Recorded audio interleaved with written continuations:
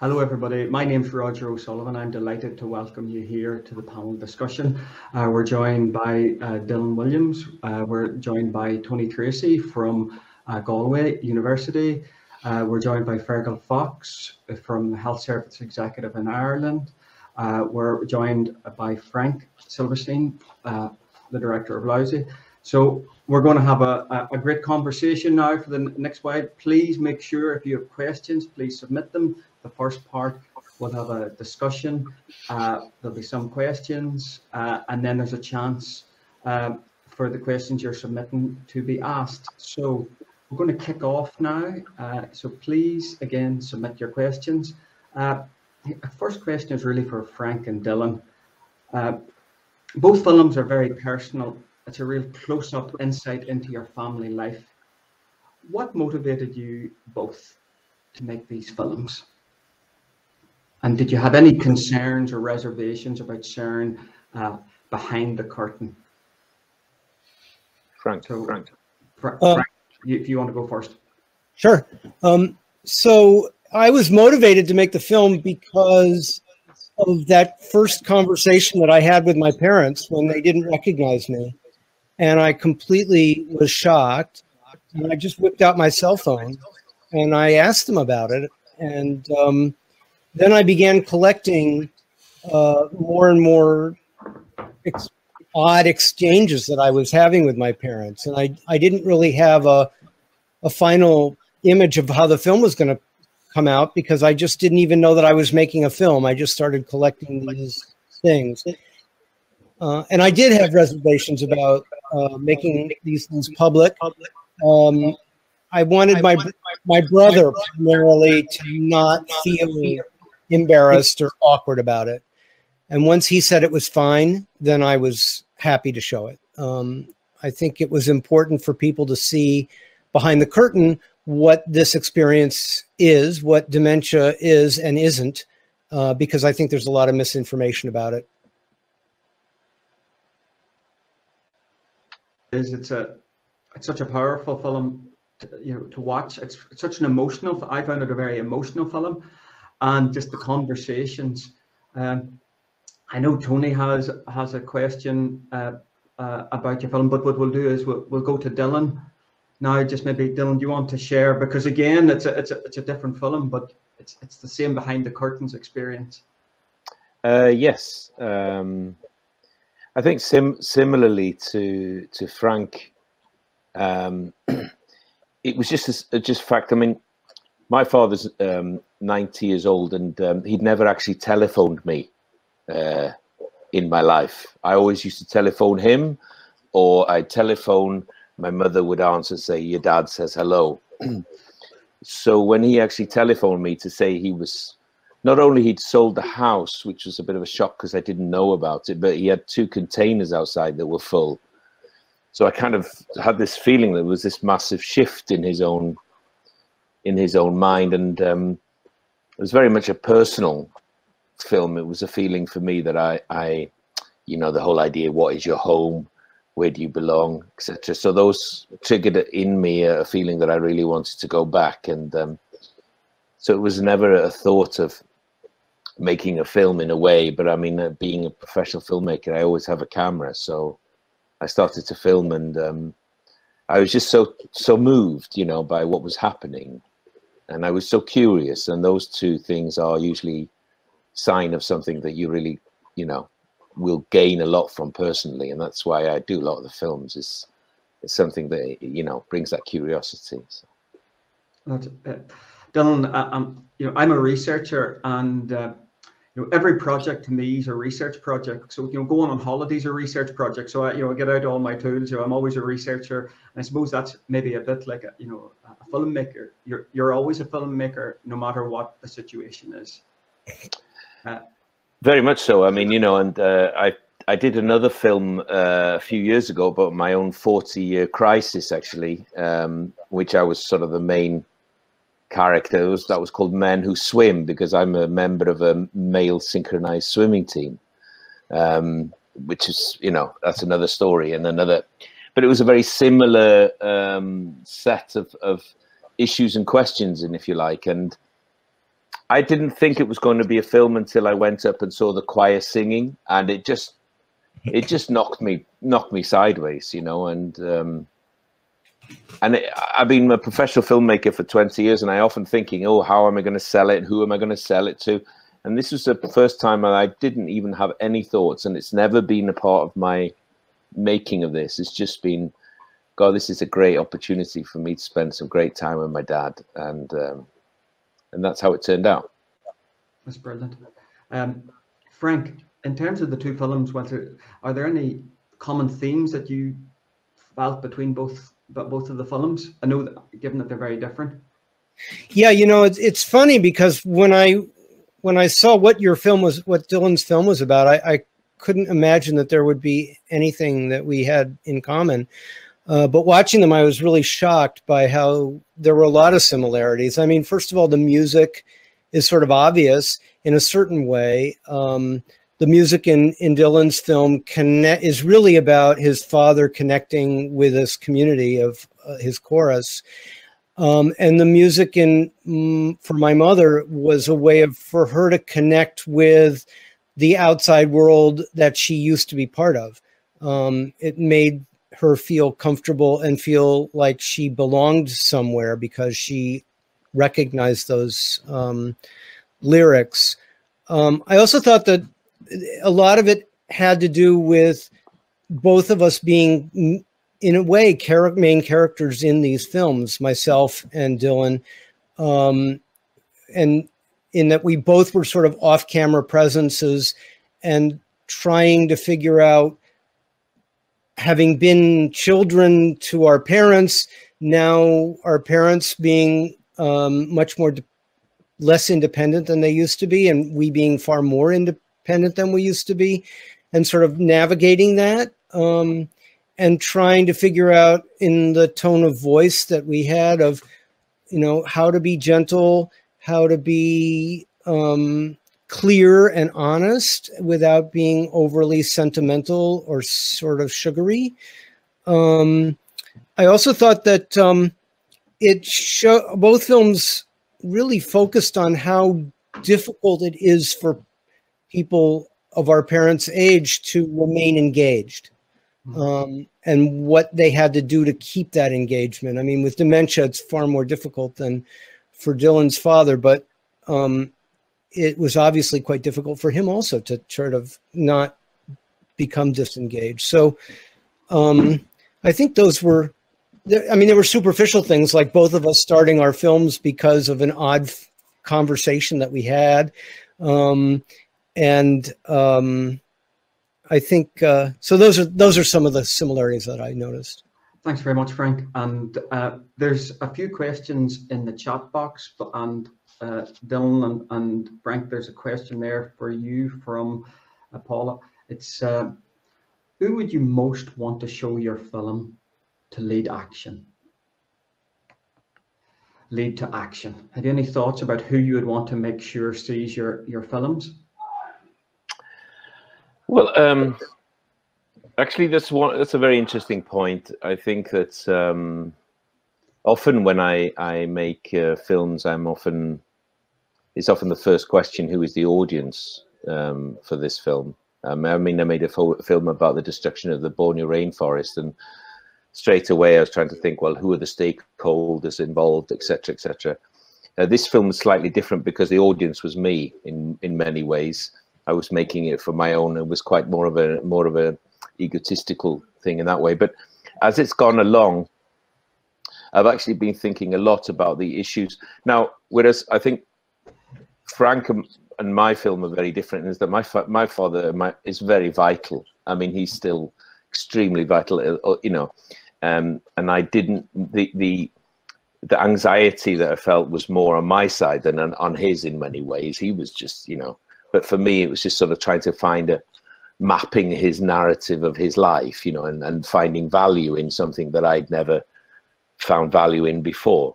Um, but one of the organizations I've been sort of talking to is a lot is Loneliness UK, which is a, you know, I think that the one thing I did realize from my father is that he, without the structured arena of his choir, it would be very difficult for him to have that connection. And that was something that connected a lot of the men. I mean, men um, as a as a whole, maybe that generation, more of the younger generations, have find it difficult to talk about their emotions, find it difficult to share in many ways. So I was thinking that Loneliness UK, because there are a lot of people who do find it difficult to share and to have that sense of being able to go and offload and have something. So they're, they're an organization that, that I think uh, one of the organizations, how we can reach the many people who maybe need to post pandemic, if we can dare say that, get them out of the house, get down the local club, wherever you are, you know, have a cup of tea or a, or a, or a pint you know, it gives you that vitality, you know, and that's that's gives you that sense of direction, forward momentum, things to do. Okay, that would brilliant. be my audience. Brilliant. And um, Frank, do you have any? Who, who do you want to make sure sees this film of yours? So I would think that there's two groups of people that um, I think would be the audience that I imagine is um, people like myself who are caregivers of um, parents or friends or other people that with dementia. I think that uh, it's a very it's very confusing and very emotional and really difficult uh, path to tread. Um, and I think that watching my parents, who at this point had ex- sort of advanced stage, um, to see where you're headed and what that looks and sounds like for real, uh, and I also think for uh, medical people, whether it's um, doctors or um, nursing staffs, uh, because I think it provokes a conversation of, oh my gosh, my mother did exactly the same thing. And so it opens up an avenue for conversations that are people often don't want to have or don't know how to begin. Thanks very much, Frank. I know before you go, um, uh, Tony, uh, is, uh, I think you mentioned you want to ask Frank a question about his his uh, it. You're on sat. You're on silence. So if you want to, I've been si- I've been silent. many many people would like to have that facility around me. Um, um, yeah. So um, I was talking to Frank a little bit off uh, before I came on. Uh, when before we came on, and um, one of the things I'm, I'm sort of I'm a film scholar as well as the uh, son of aging parents. So it's funny because the, these two things, these two films really affected me on a personal level as well as a kind of professional level. And one of the things I'm interested in is um, how aging uh, gets represented. You know uh, how how um, and these films make really valuable contribution to that project. That kind of and, and actually what's kind of exciting about this this is that this is we're in an early early enough stage about representations of aging. I mean, there, there have been old people or older people, as we say in um, film, for quite a long time, but they have generally been confined to sort of secondary roles or um, stereotypical roles, or you know, you know, a limited number of young and older characters. So, dementia per se or personal stories are, are relatively new, and I'm very interested in in the last even year. Um, there's been a sort of spate of these kind of films about dementia. And I'm thinking of Dick Johnson is Dead, for instance, which was on um, Netflix. Um, there was uh, one with Stanley Tucci. Uh, I'm just forgetting the name of it now, where Stanley Tucci's a gay man in a relationship with Colin Firth. Is it called Sundown? Or I, have forgotten the name of the title now. Mm-hmm. Um, and, um, and and anyway, a number of films with uh, and the father and so on. And it strikes me that dementia uh, offers uh, particular challenges in, in, terms of representation because it, you know, in film you're trying to sort of draw out a character, and but dementia resists that um, and identification. So what I was interested in with Frank's film in particular uh, was how he achieved a tone that was both sensitive uh, to his parents, but also, I guess, not patronizing or uh, wasn't uh, uh, too melancholic in a sense. And, and I, I, thought he did something really interesting with tone in the film, which is a very difficult quality to speak about. Um, and I, I, think one element he did there was was to do with music and the way music works. But I just wanted to ask him a little bit about that, how he how he found that tone. And I watched it again tonight, and particularly that closing um, shot in particular struck me. So that question of tone uh, and, and the representation of his parents, I find very interesting.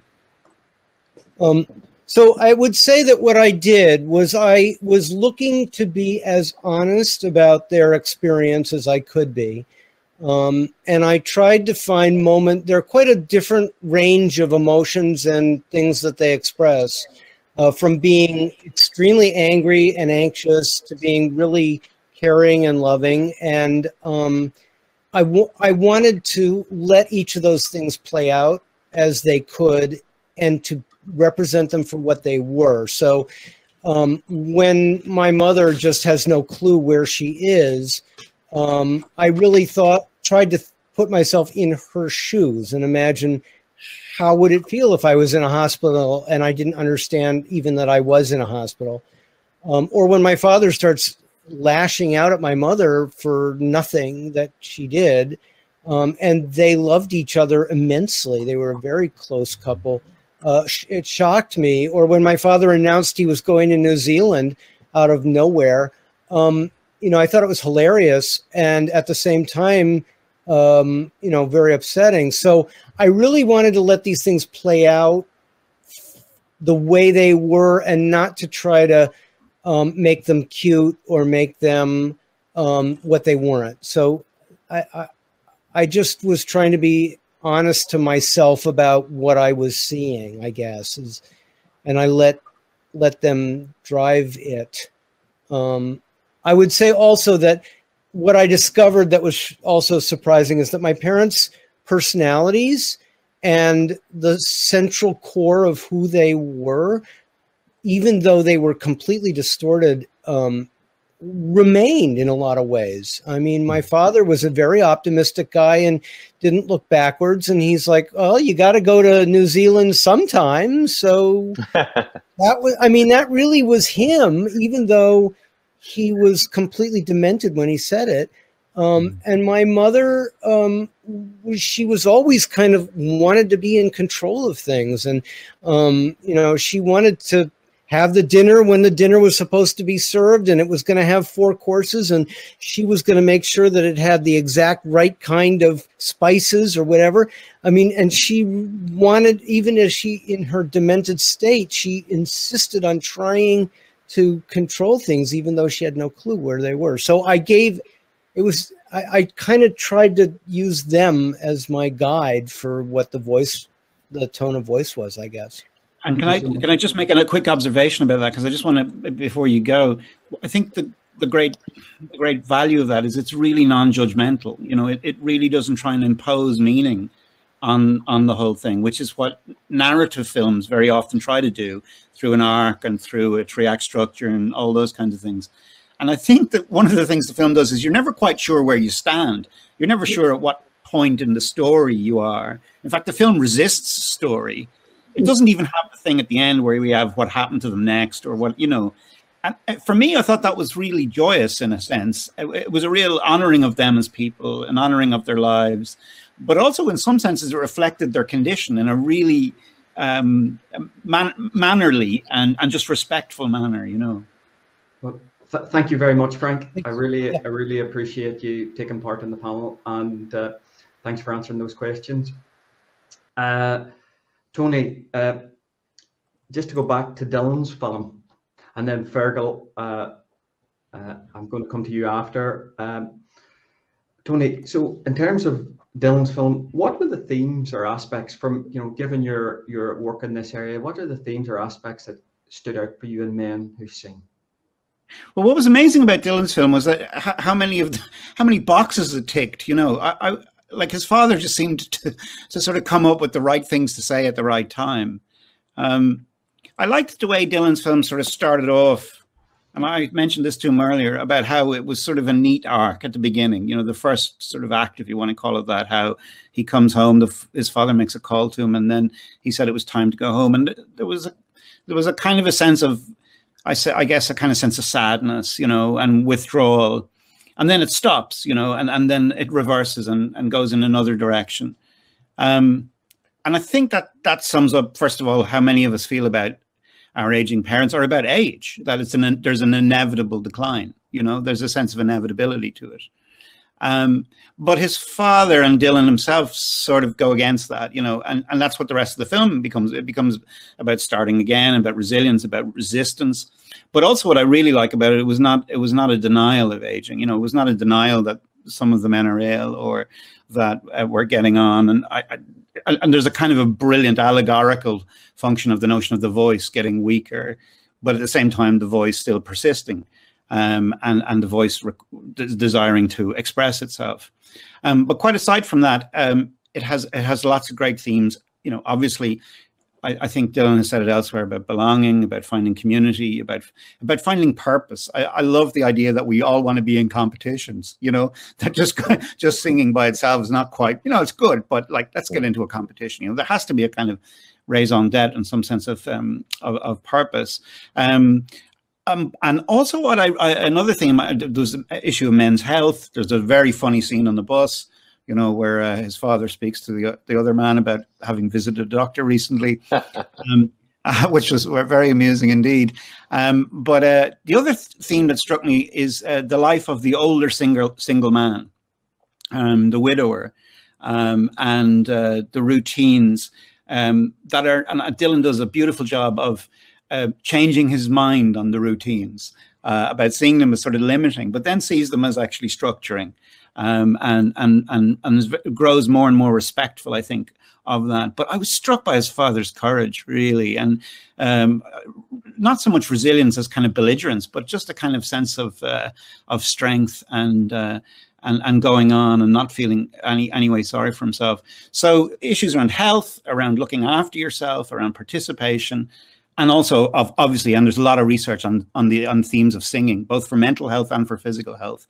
Um, so it's it's a rich film that I would be really keen to show to um, older audiences um, and older men in particular. And if I might just finish by saying what I liked about both of these films is that they were they were sons looking at fathers, looking at parents, and you know that kind of intergenerational observation, particularly from sons' point of view, I think is a new and exciting kind of perspective to bring to aging. It's it's not one we see or have heard a lot of.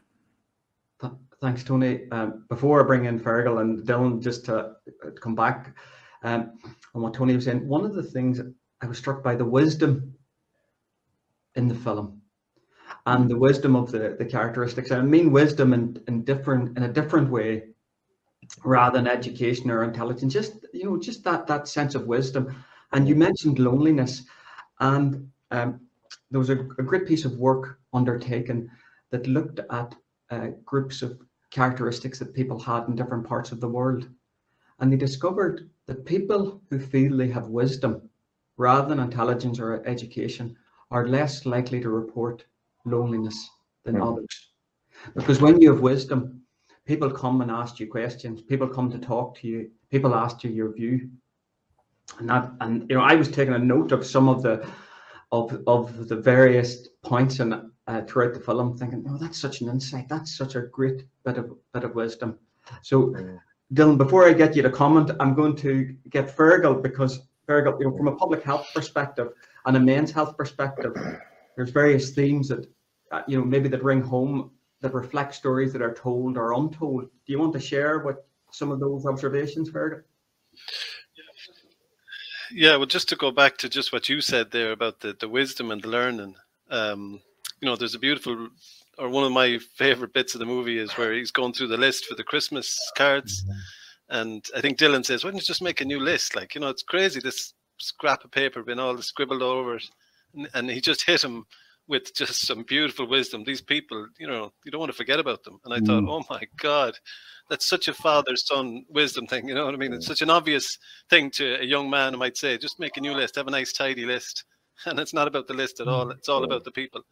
So I thought the film, like it really hit so many golden moments where you just it just hits you you know like where where like obviously the the peak of the movie was watching for me was watching the fathers you know tell dylan I want Psalm 23 at my funeral. And and again, it's kind of like a young man's question, like why, why, why that? And it just it touches me. Mm. And you know, like I, you know, it was just such a pure golden moment.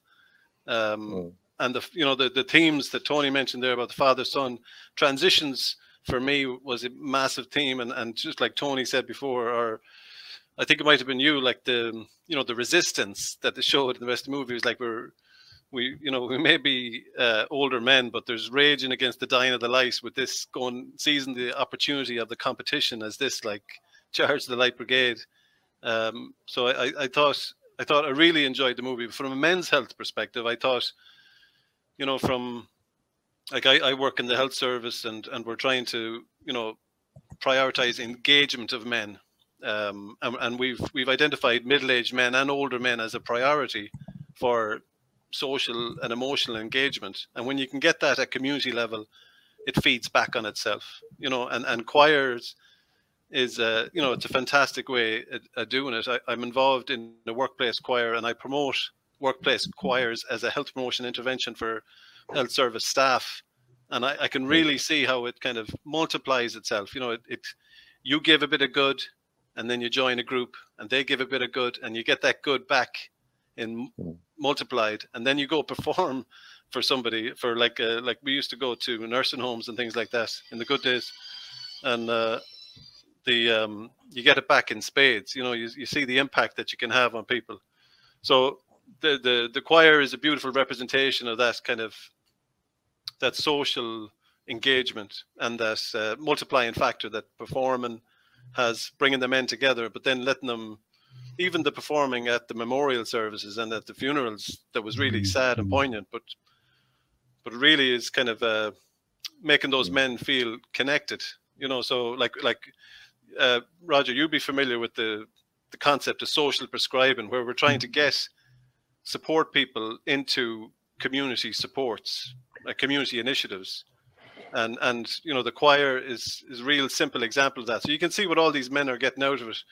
So from a men's health perspective i thought you know there's so many like obviously the father son relationship would be one of the big things but but that uh, the father is so socially and emotionally aware and he's he's teaching us in this movie. Like this this this movie is very it'd be a fantastic educational tool for men of all ages you know because they mm-hmm. can you're learning from dylan. Dylan is on the journey himself. Um and the father is you know struggling. Like the scene where he's sitting at the bottom of the step of the stairs as they're moving house or he's moving out. Like it's just so poignant. Mm. really guesses you know it really hits you hard you know the journey and the, the transition and you know so there's so much learning in this. I think there's just something for every man. Never mind like it obviously if you're watching it as a man it, it makes you reflect on your own father son relationship whatever that is. Yeah. but to see the, the you know so sorry i'm, I'm, I'm a bit of a, on a, rant here. I really enjoyed the movie. No that's um, perfect fergal. It really is it, it really is. No no you've covered uh, uh, you know given your role within the health service exec i'm i'm, I'm delighted that it rings so many points. I'm really, I'm really delighted. So Dylan, um, do you want to reflect? Because we've covered a lot there, but uh, and, it's nice the, the type of feedback you're getting. I'm sure. So do you want to reflect on what you what you've heard? Yeah, I mean, you know, you're gonna have to stop me if I go into a rant now because you you both you both encapsulated so many elements of what I sort of what I mean, I didn't set out, but what I actually ended up finding, and that was maybe, you know, the area which I was from is an area that has been left. So all the men in that choir, their sons, people have left it, and sometimes you you leave a, a, a relationship. You don't foster a relationship. You're talking about wisdom, which is that we communicate intergenerational. We listen to one another, and these mm. these men they they decided to go for a competition. Why? Because I was there with a the camera. It felt that somebody was listening to them. They suddenly felt proud and they had something to say because somebody was there who wanted to learn from them. Yeah. You know, and and my father and you know he he had his mother and then he met my mother you know and then when my mother died he was suddenly on his own for the first time in his life you know and that's why he sort of started to develop these new and I remember after she died, um, we were driving the car and he drove into like a little lay-by on the and he looked at me and he says, "What am I going to do with the rest of my life?" And it was, and I, we, I'd never even come close to having conversation with my father about anything, and suddenly for me to start to find a new narrative, a new way of talking with him, um, but then also a new way, in in a wider sense, a new way to look at the society where I was from, rather than sort of brushing it over with a with an eye of a teenager or a young man thinking, ah, I'm from the ugliest seaside town in the world. You know, it's a lovely line to throw out, Mm.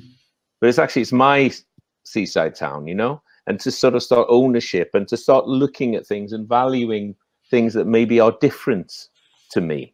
You know, you think you're modern, you think you're taking on new achievements, but to actually to value and to realize on the street that I live, there are all these different experiences and people, and we don't have that crucible where we necessarily are eating together, and how we can create that that sense. And community is one of the is one of the themes that is closest to my heart in in many of the films that I make. It's just I feel that many words go unspoken, Mm.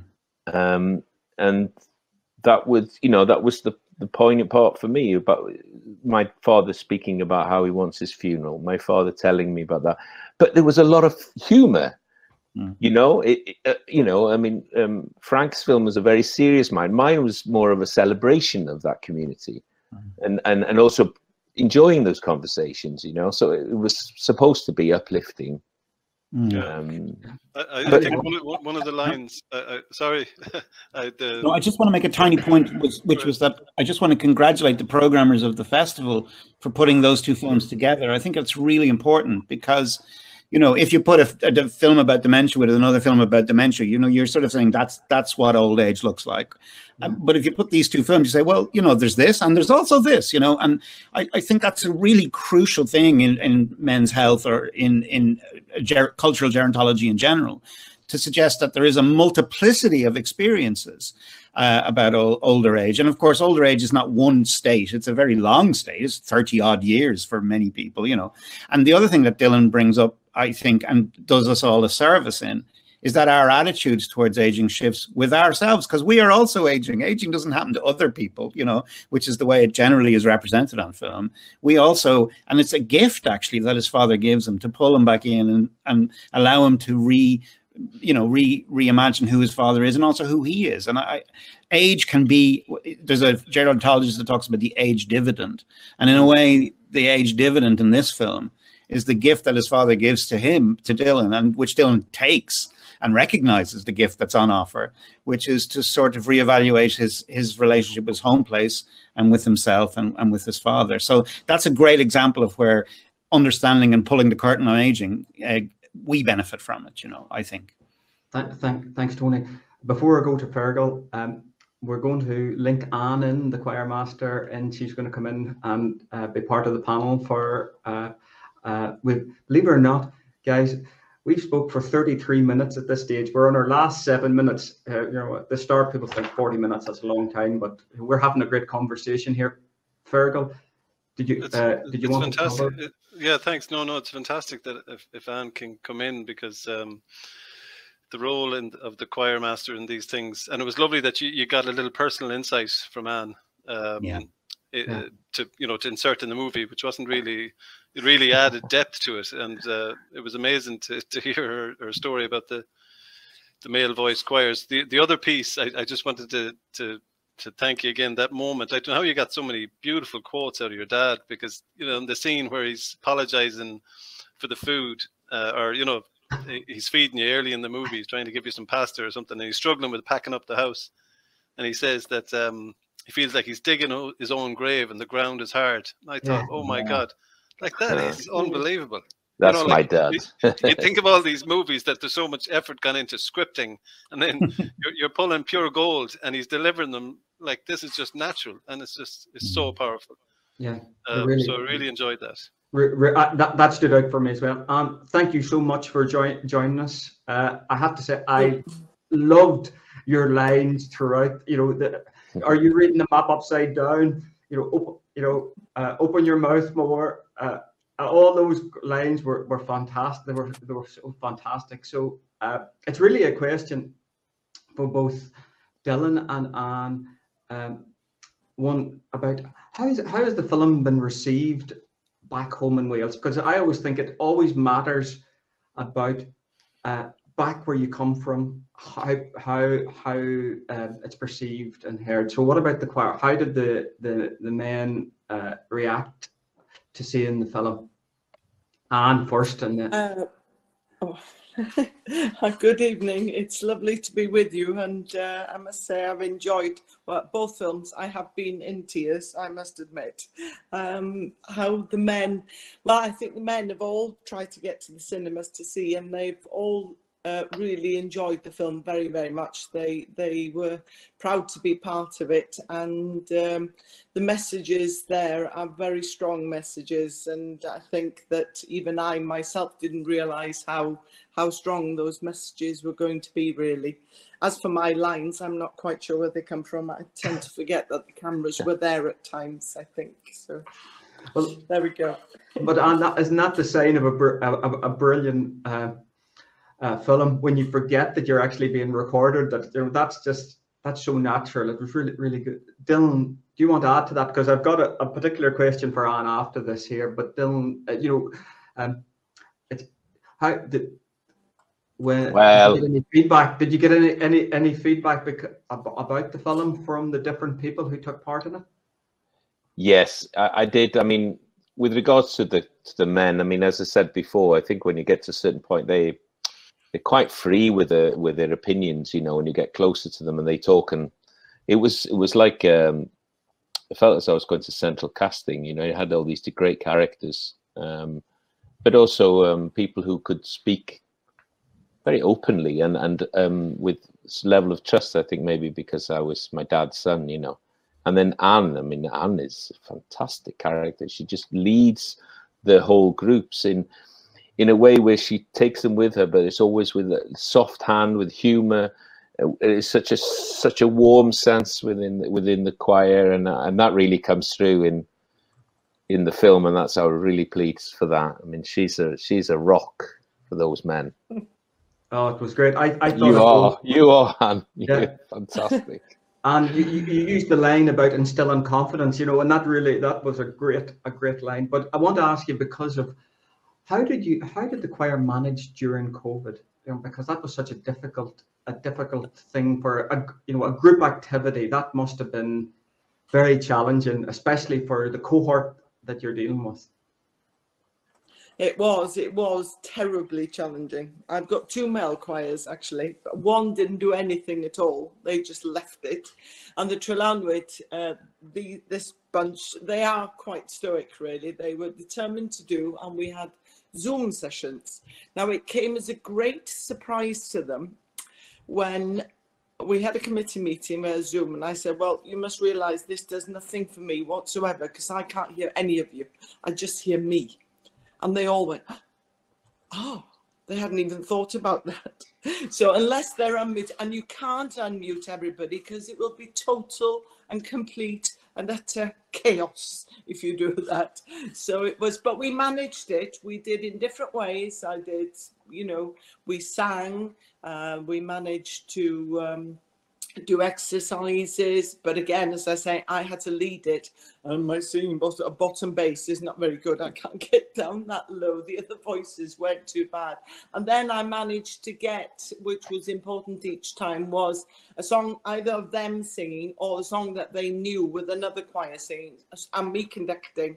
I've so recorded that. And then they were able to sing along. But of course, you know, they were all in their own homes on their own some of them not feeling so comfortable in doing that. Maybe the wife was complaining, or the dog, or the cat, or whatever, or, but, or the neighbours, I don't know. But uh, we managed, that was the important thing, because, you know, for a certain time, we came together. So we did that once a month, and then they had a quiz on the other so every two weeks we did it, and we and I think it was good that we managed it. You know, some of the older members who've stopped coming to choir, they were able to be there as well. So that was really lovely too, and very very important for them to have that contact with one another. Um, so thank, important. Um, thank you so much for joining the panel. Thank you. I really appreciate it. And again, really enjoyed uh, your role in, in the film. Um, so we're down to the last two minutes. Dylan, Tony and Fergal. Um, this is really our, our chance just to finish off. But one of my thoughts was, you know, how can we use a film like this to engage and stimulate, and both films to engage and stimulate men in those more difficult conversations? Um,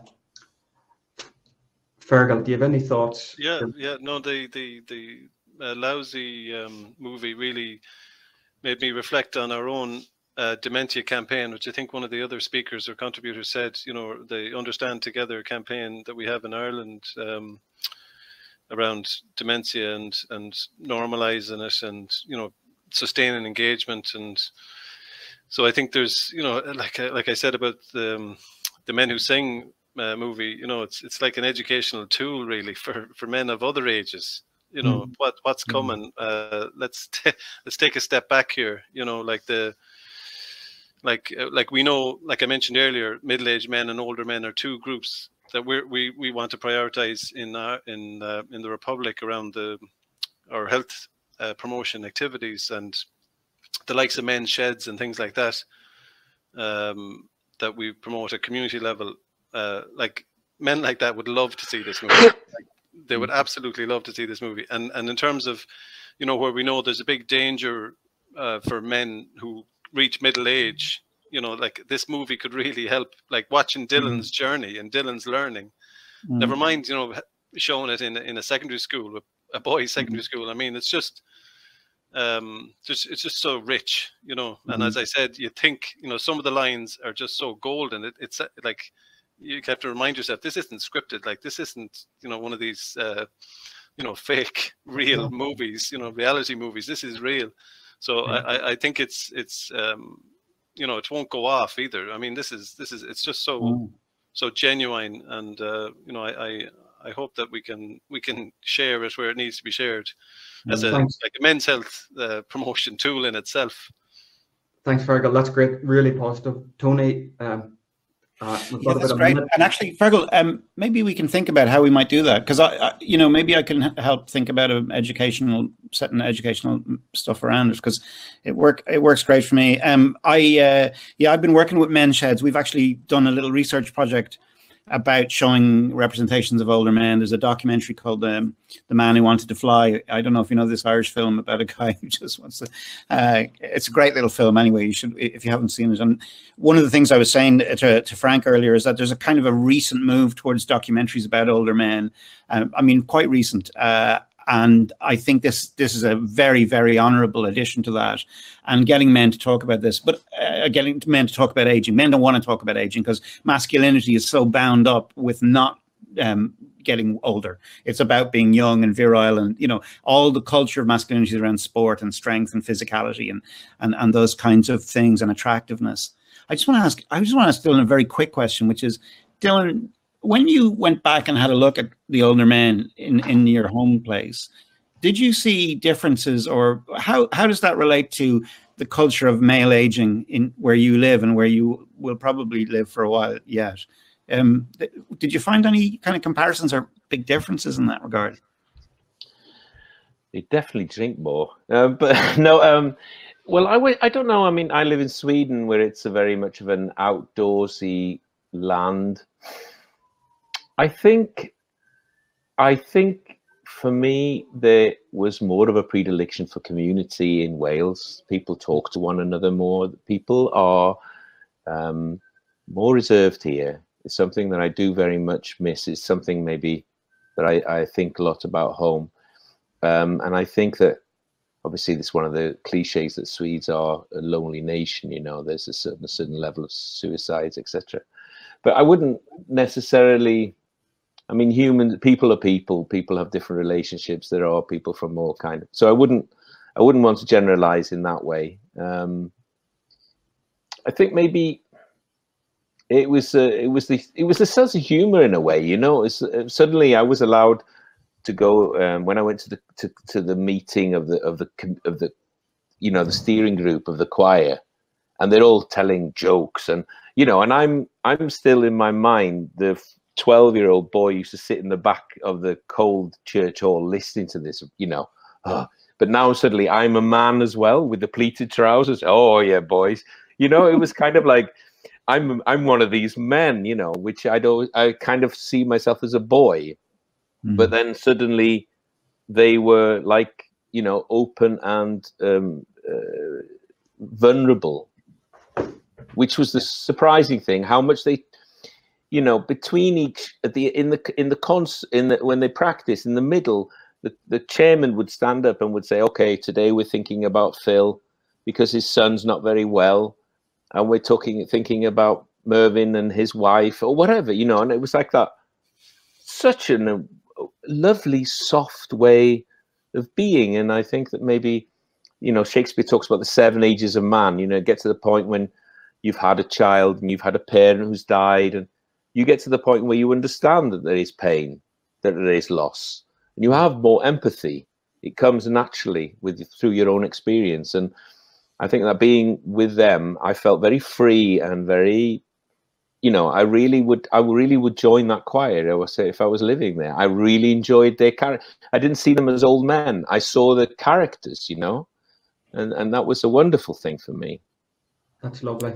I have to say that's just a lovely way to finish the conversation. Just a just a fantastic uh, and we're going to now hand over to Gerri. Please, everybody, stay on line because Gerri and her team have brought together a fantastic film festival. And I have to say, I've been delighted taking part in this uh, discussion. It, it it was the fastest 46 minutes that I've had in a very long time. So mm. thank you to the panel. Thanks everybody.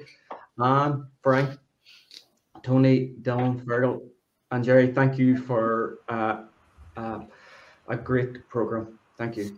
Oh, thank you. thank you, Roger. Thank you to all the panel.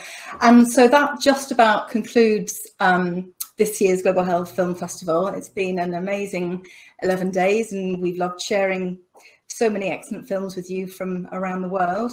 Um, I have to say, so many people have contributed uh, so much to making this year's events such a success. Our filmmakers, our moderators, our panels, our trustees, our advisory board, our partners like the Lancet and the Institute of Public Health in Ireland, Andy Spencer, our graphic designer, Richard King from Spirited Pictures, Lauren Anders Brown for hosting our red carpet events and setting up our virtual photo booth every day, and um, most especially our wonderful audience uh, for being here to share in the festival.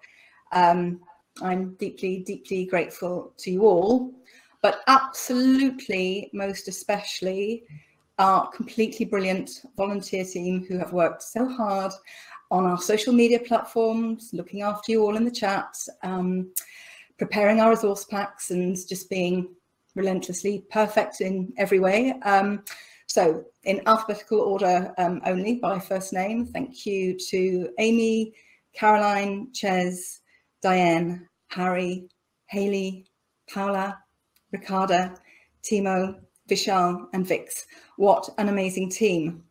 And we are going to end this year's Global Health Film Festival on a total high because this amazing choir are going to sing us out. And thank you to the wonderful Ann Atkinson for putting them through their paces once again. And if I can get the tech to work, it has been one of those days. I'm going to hand over to Ann and the choir to um, officially close this year's Global Health Film Festival. So um, goodbye and thank you. Good night. And, um, and we will see you next year. So bear with me one second. Thank you. Thanks, Dylan. Don't Bye. don't go anywhere. Don't go anywhere just yet. Good evening, Global Health Film Festival. From myself, Ann Atkinson, and from the stars of the show, Côr Meibion Trelawnyd. Hello! Oh! We hope you enjoyed watching and discussing Men Who Sing. The film has many important messages about community, humanity, and the power and joy of song. And we are delighted to officially close your festival this year in our very own special way, the way we, the only way we know how to sing to you. And we'd love to sing for you uh, from the heart a song called A Pure Heart, Calon Lân. Thank you very much. Diolch yn fawr.